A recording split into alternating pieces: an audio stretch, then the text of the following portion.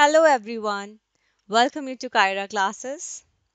Today we are going to start new chapter of class 9th science, chapter number 8, motion. This is my first lecture of this chapter, so let's start it. Motion. तो simple definition uh, की बात करें तो motion क्या होता है? It is the movement of any object from one position to another position with respect to the observer is called as motion तो motion का मतलब होता है कोई भी चीज़ अगर मूव uh, कर रही है अगर मूवमेंट शो कर रही है तो हम कह सकते हैं कि हाँ मोशन हो रहा है। जैसे कि अगर कोई ऑब्जेक्ट एक पोजीशन से दूसरी पोजीशन पे जाता है ऑब्जर्वर के रिस्पेक्ट में तो उसे हम टर्म देते हैं मोशन तो motion is the movement of any object from one position to another position तो जो मूवमेंट है उस ऑब्जेक्ट का, वो ऐसा होना चाहिए कि उसे अपनी जगह से हट के मतलब एक पोजीशन को छोड़ के दूसरी पोजीशन या दूसरी जगह पे जाना चाहिए, तब जाके मैं कहूँगी कि मोशन हुआ है। Position Motion of any object is defined by its position with respect to the observer.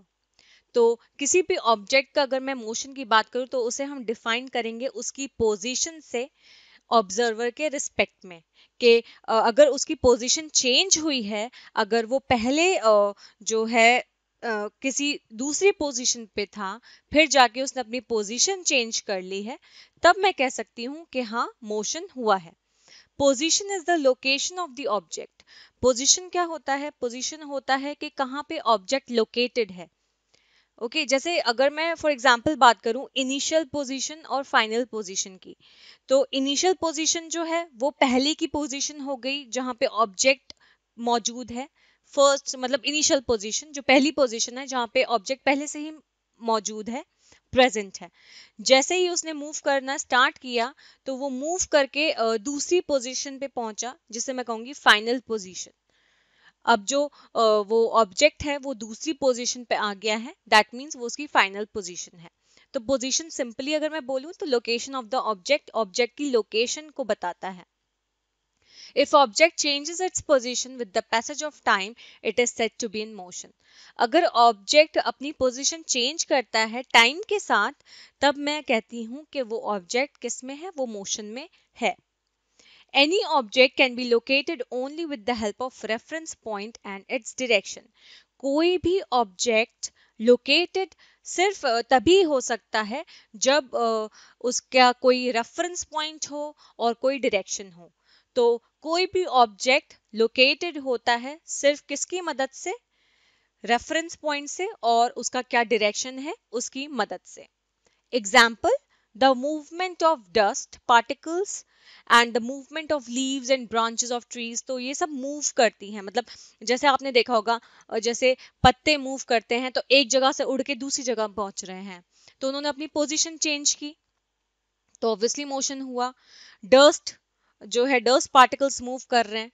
तो वो जैसे सपोज़ एक रूम में प्रेजेंट थे पहले फिर क्या हुआ? वो धीरे धीरे उन्होंने अपनी पोजीशन चेंज की वो दूसरे रूम में जाने लगे तो पोजीशन चेंज हुई। तो इसे हम कहते हैं सिंपल मोशन नाउ नेक्स्ट है हमारा motion in straight line When an object moves in straight line with respect to the observer, then the motion is called straight line motion.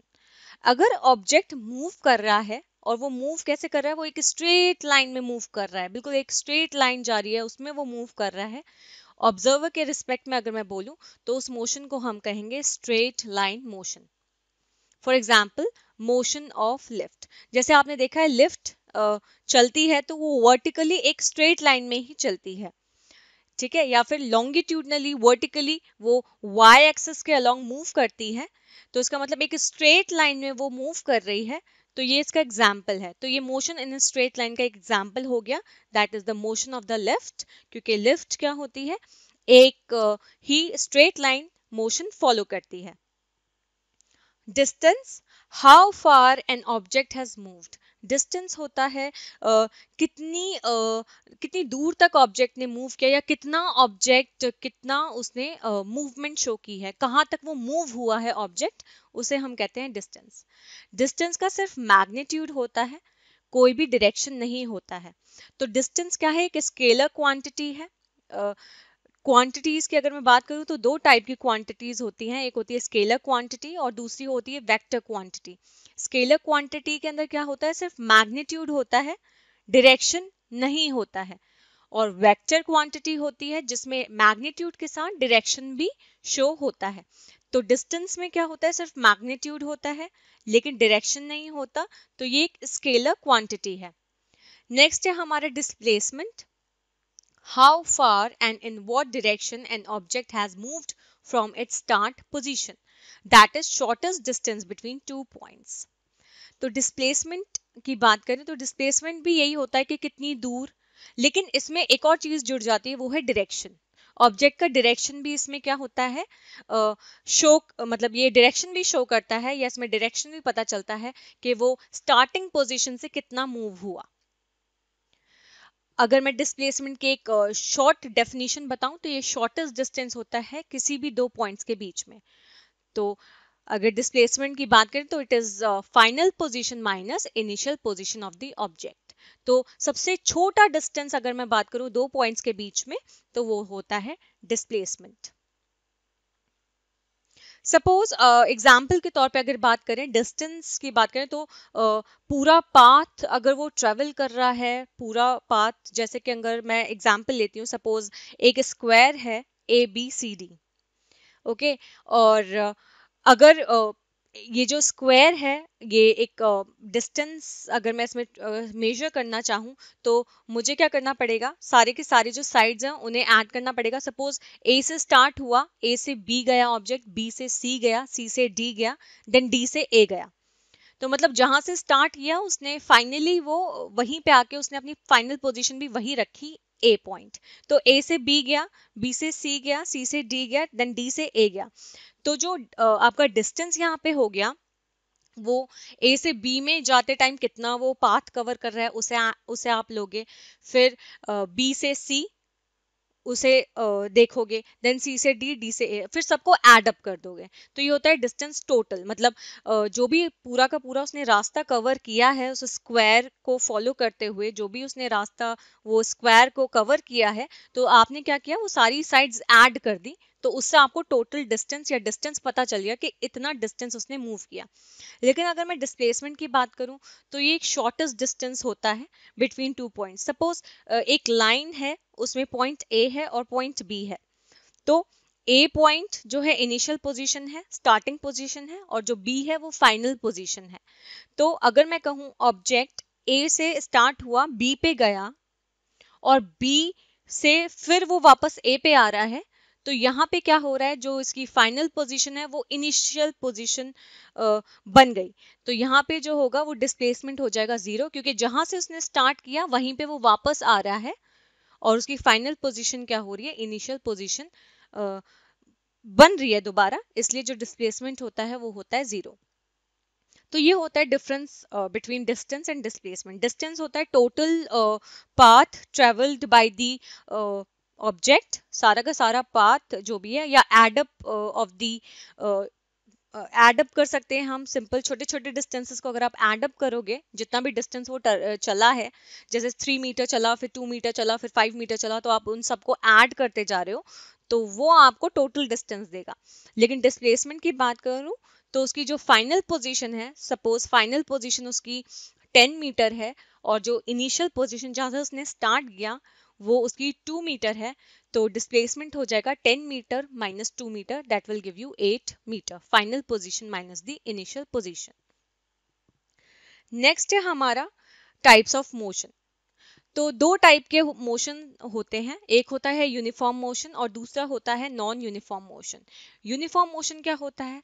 As the object covers equal distances in equal intervals of time it is said to be in uniform motion तो uniform motion मतलब क्या होता है कि अगर object equal distances cover कर रहा है इक्वल इंटरवल ऑफ़ टाइम में मतलब इक्वल इंटरवल ऑफ़ टाइम जो है उसमें इक्वल डिस्टेंसेस वो कवर करता जा रहा है तो मैं कहूँगी वो मोशन क्या है? यूनिफॉर्म मोशन है। टाइम इंटरवल जो होता है इस मोशन में वो छोटा भी हो सकता है, बड़ा भी हो सकता है। लेकिन इक्वल डिस्टेंसेस मतलब सपोज़ अगर मैं बोलूँ पहले टू मीटर उसने कवर किया फिर उसने फोर मीटर किया, फिर सिक्स मीटर किया, फिर एट मीटर किया, फिर टेन मीटर किया। यहाँ दो दो का गैप है डिस्टेंसेस में, लेकिन यूनिफॉर्म है। दो का ही हर जगह आपको गैप मिल रहा है। लेकिन टाइम इंटरवल जो है, वो भी इक्वल ही। है तो वो छोटा भी हो सकता है, बड़ा भी हो सकता है, लेकिन जो आपका डिस्टेंसेस है, वो इक्वल होते हैं। और इंटरवल जो टाइम का इंटरवल है, वो भी क्या होता है इक्वल होता है। नॉन यूनिफॉर्म मोशन क्या होता है? ऑब्जेक्ट्स इसमें अनइक्वल डिस्टेंसेस कवर करते हैं in equal intervals of time time interval बराबर है इक्वल है, लेकिन जो डिस्टेंसेस हैं वो अनइक्वल हैं. सपोज़ आप मानो जैसे कि पहले उसने टू मीटर किया, फिर उसने फाइव कर दिया, फिर उसने सेवन कर दिया, फिर उसने एट कर दिया, फिर फिफ्टीन कर दिया तो ऐसे एक जो गैप है दो डिस्टेंसेस के बीच में वो कांस्टेंट नहीं है वो चेंज करता जा रहा है। तो अगर ऐसा कंडीशन uh, बन रही है तो उसमें कहेंगे हम ये नॉन यूनिफॉर्म मोशन है। Example when a car is moving on a crowded street or a person is jogging in a park तो अगर कोई कार है वो मूव कर रही है बहुत भीड़ भाड़ इलाके में तो ऐसा होता है ना कभी इतना डिस्टेंस कवर हो गया कभी ज़्यादा डिस्टेंस कवर हो गया, कभी बहुत ही जरा सी चली कार, कभी फिर थोड़ी और चल गई तो मतलब यहाँ पे डिस्टेंसेस क्या हो रहे हैं? डिस्टेंसेस चेंज होते जा रहे हैं इक्वल नहीं हो रहे हैं इक्वल डिस्टेंसेस नहीं हो रहे हैं अनइक्वल हो रहे हैं, कभी ज़्यादा हो रहा है, कभी बहुत कम हो गया, कभी थोड़ा सा कम हो गया तो इस एक, ये एक एग्ज़ाम्पल है नॉन यूनिफॉर्म मोशन का, या फिर अगर जब पर्सन जॉगिंग करता है पार्क में तो वो भी क्या है? नॉन यूनिफॉर्म मोशन का एग्ज़ाम्पल है। नेक्स्ट है हमारा speed speed is equal to the distance an object travels in a given amount of time तो स्पीड क्या होता है? स्पीड होता है जो डिस्टेंस है ऑब्जेक्ट का, कितना जो ऑब्जेक्ट है, उसने एक गिवन अमाउंट ऑफ़ टाइम में वो कितना चला, या कितना उसने डिस्टेंस कवर किया एक गिवन अमाउंट ऑफ़ टाइम में. तो उसे हम कहते हैं speed the distance of an object travels in a given amount of time तो speed is equal to distance upon time तो सपोज़ फाइव मिनट में कितना चला? uh, आपका ऑब्जेक्ट मतलब उसने कितना डिस्टेंस uh, कवर किया तो वो होती है स्पीड ऐसा unit of speed is metre per second जैसे क्योंकि speed is equal to distance है तो डिस्टेंस क्या हो जाएगा? इसका ऐसा यूनिट मीटर होता है और टाइम का ऐसा यूनिट सेकंड होता है तो ऑब्वियसली स्पीड का ऐसा यूनिट हो जाएगा metre per second if an object travels a distance S in time T then its speed V is अब थोड़ा बताने मतलब इन्होंने सिंबल्स दे रखे हैं कि डिस्टेंस को हम एस से रिप्रेजेंट करेंगे टाइम को टी से करेंगे स्पीड को वी से करेंगे. अगर ऑब्जेक्ट ट्रेवल करता है डिस्टेंस एस टी टाइम में तो उसकी स्पीड जो वी है, वो क्या हो जाएगी? V is equal to distance S upon तो s वहाँ पे डिस्टेंस है और t क्या है? टाइम और v क्या है? स्पीड सो नेक्स्ट है हमारा टाइप्स ऑफ़ स्पीड फ़र्स्ट है कांस्टेंट स्पीड कांस्टेंट मतलब फिक्स्ड चेंज नहीं कर रही है कांस्टेंट है.